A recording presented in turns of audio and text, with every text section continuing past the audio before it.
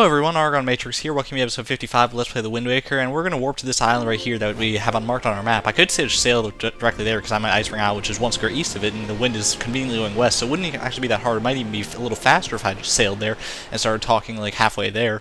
But now I'm already doing this warp, and it's a really cool animation, so I really like it, and I think I'm just going to be here. We're going to do the Fairy Islands this episode. I really like the Fairy Island because they upgrade your shit. They upgrade your shit into very mass quantities that you really don't need, and they also upgrade your magic bar you find the right one. But that right one is really hard to find actually because you have to beat a big octo a big ice ring isle.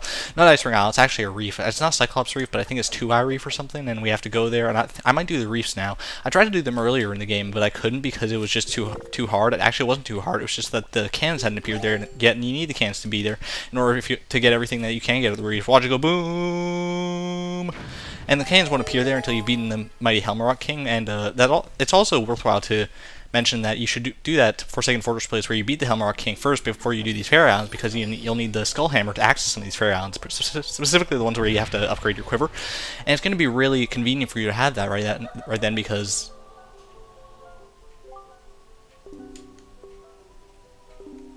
I couldn't do it. I couldn't do it, man.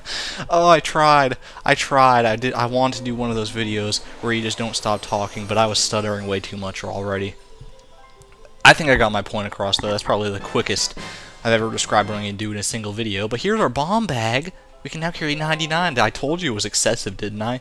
In that massive mumbo-jumbo of influx information. Good lord, that is harder than you think it is to do that.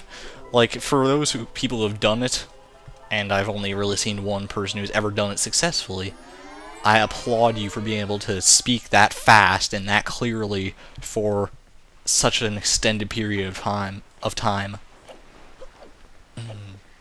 Anyways, now that I'm out of that, uh, I don't know. It's really weird to me that you can warp to this island, this random Southern Fairy Island.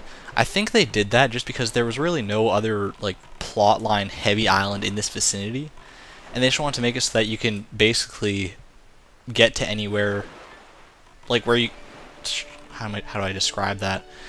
It's basically like from wherever you warp to, you're basically within one square of any island in the game, which is technically not true because there's a few squares like up in the northwest portion of the map, I think, or that where you can't sail to if you warp directly to somewhere.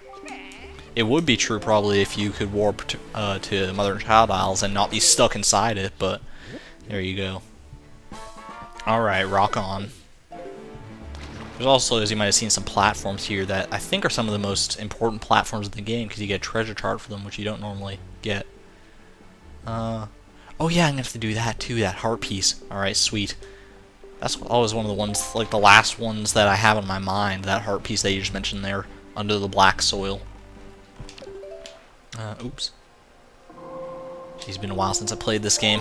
I'm starting to forget songs, man. I shouldn't forget songs. They've been embedded in my brain over the years I've played this game. No reason to forget them now. Ugh.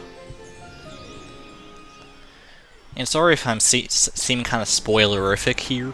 Uh, like I just mentioned that heart piece under the black soil, even though he never explicitly mentioned it was a heart piece himself, that merman. And before I also mentioned about the fairy who gives you the magic meter and how to find her and everything. I just figured that like enough people have played this game and enough people who are watching this are probably just watching it for my commentary since it's been done to death as a let's play. That there's really no point in me not spoiling anything. Of course I'm not going to spoil anything like super plot heavy or anything, just on the off chance that someone who's never seen the game before is watching this, which I don't doubt. I mean the internet is a vast, vast place, so you never know what you're going to come across in terms of an audience. Uh, oh, is that guy going to get up right off the edge? It's going to be so funny. I have to wait. Wait for it. Wait for it. Oops. oh my god, it's the funniest thing. That's even like better than just hitting him off an edge like that. See, that's not very funny because like you you force that, but when he just gets up off the edge of his own free will, it's just like, like yeah, it's sad because like, I guess you just didn't know. God, that's frightening, man. I'm gonna take the cheap way out in killing these cannons. Sometimes I like to just shoot them down from the boat like it was meant to be. But oh my god, wow. Cannon flew right up to my face. And there you go. I think the way this this pla these platforms actually work much more methodically than most other platforms. Oh, what?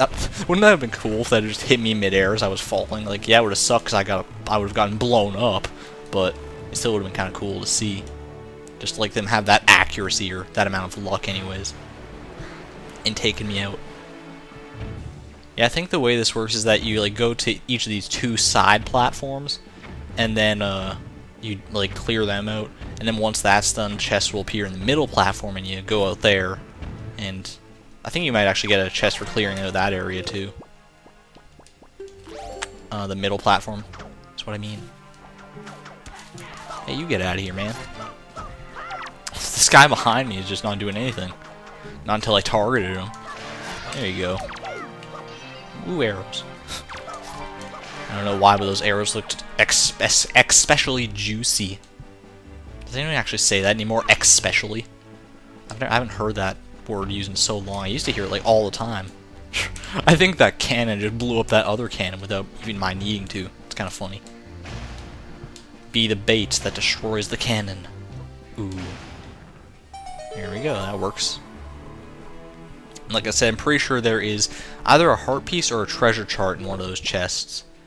So I'm kind of keen to find out about that. I'm pretty sure it's just a treasure chart because I couldn't really see them putting something as insanely valuable as a heart piece on one of these random platforms that you might just oh so conveniently miss.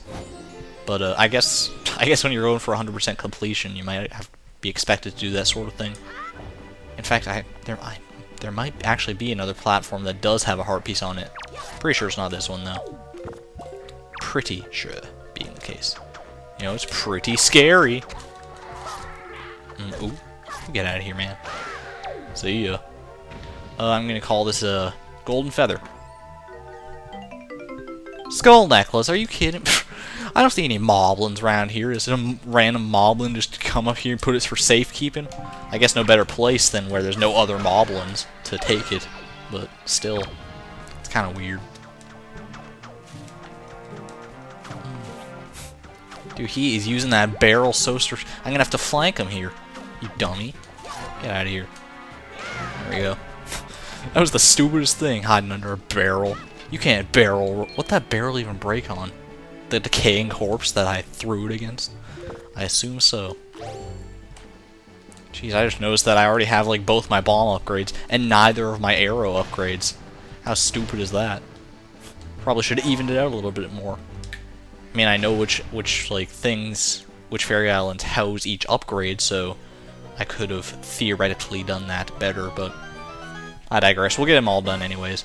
There's your treasure chart. Hell yeah. When you open this chart in a magical place, and you'll go digging in the sea, but sometimes you'll find a pot. Has that ever happened to anyone else? I've never seen that happen like a Let's Play or anything, but I distinctly remember at least two times uh, pauper now, cool. Is there any other that I haven't opened yet? Yeah, look at that. Uh, what is that island? I'm not sure. Mm, oh, there's a reef. I think that might be Cyclops Reef. Man, there's plenty of these I haven't opened. I think that's Gale Island.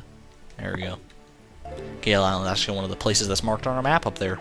Or that you just, that I just skimmed over. Mm, what was I saying? Yeah, it's like, I think sometimes, like near the end game when I'm like digging up treasures from the ocean deeps, there's some random times, it seems totally random when it happens, and it seems really rare too.